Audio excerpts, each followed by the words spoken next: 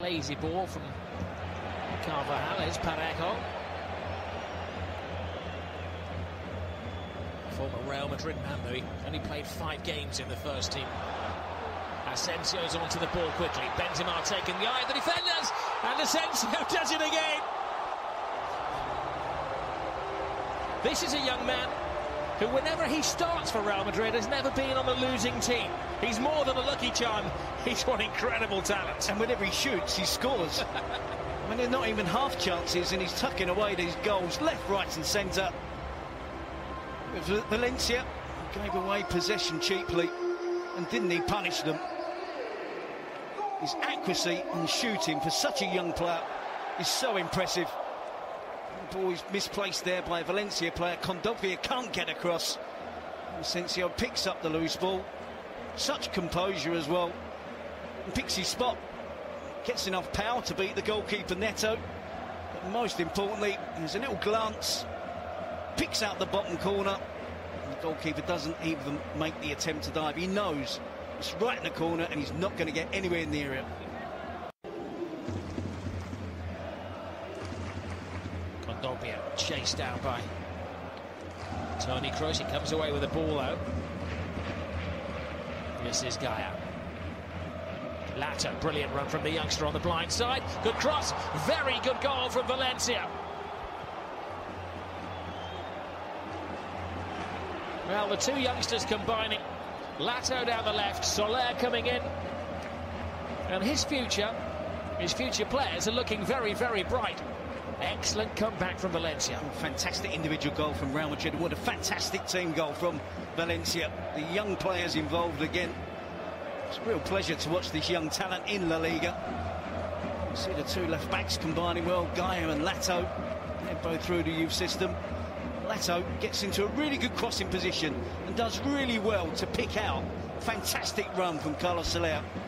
He was playing on the opposite side of the field of players, the attacking white side midfield player. But he makes a diagonal run across the penalty area. Goes unnoticed, no one picks him up. Lato picks him out. Soler finds the back of the net for the equaliser. Well, he's a young man who's on the radar of many large clubs. So it's a very youthful Valencia. Thankfully for La Liga, appears to be going in the right direction. Good ball in. Rodrigo steadies himself, plays it back. Kondogbia! Oh, Valencia are creating a real upset here on Real Madrid's homecoming as champions.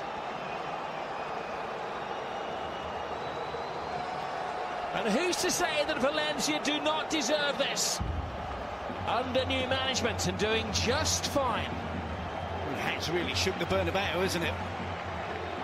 We're going to have to see one of those famous comebacks from Real Madrid that we saw on so many occasions last season. Valencia stuck in the early stages of the second half when Real Madrid were clearly on top. They've really showed great spirit, good ability as well. Attacking intent to try and get players forward. That's the central midfield player. Kondogbia getting into the box. And again, another control finish, side foot finish. As the ball was put back to him, backing up the plate. A start for his Valencia. Smashing opportunity for Real Madrid.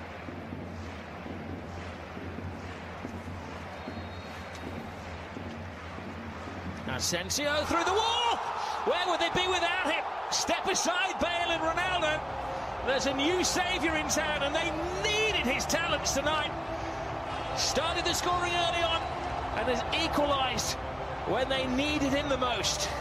We talked about another comeback. There's no Ronaldo, no Ramos. And they were the main instigators last season when Real Madrid needed late goals to get amongst the points. Asensio does it again. Modric and Kroos were quite right to trust the talented youngster. Suited the left footer. Uses the correct technique. It's not the greatest of walls, I have to say. It's Carlos Soler on the end, doesn't he? Turns his back.